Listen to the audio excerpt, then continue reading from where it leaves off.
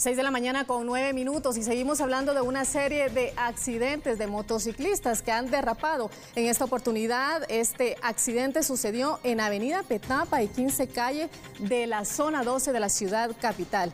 Este motorista, aproximadamente de 25 años, fallece al ser atropellado por un vehículo tipo pick-up. Ya los bomberos municipales atienden la emergencia y dan aviso a las autoridades de la Policía Nacional de Guatemala. Tenemos declaraciones de los bomberos municipales que nos van a explicar realmente qué fue lo que pasó, ya que esta persona fallece al ser atropellado por el vehículo tipo pick-up. Eh, la persona fallece por politraumatismo sobre la avenida Petapa, 15 calle de la zona 12.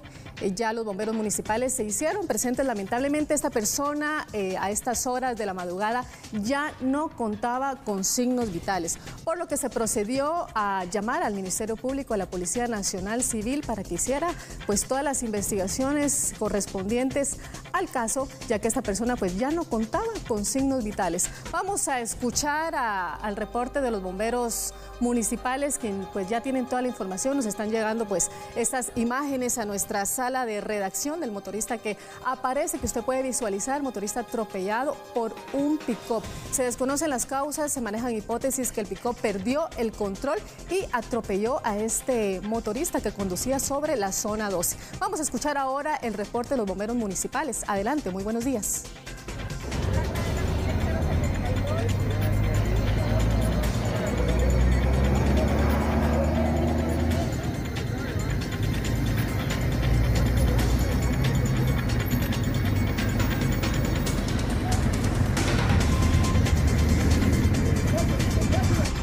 Un accidente de tránsito que reportan los automovilistas que transitaban sobre la avenida Petapa y 15 calle de la zona 12 deja lamentablemente a una persona fallecida.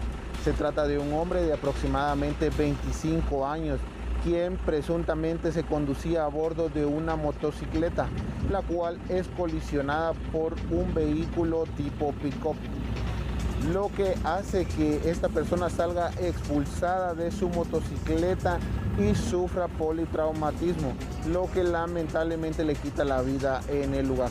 la llegada de los paramédicos y tras evaluar los signos vitales de esta persona, se constata que lamentablemente había fallecido.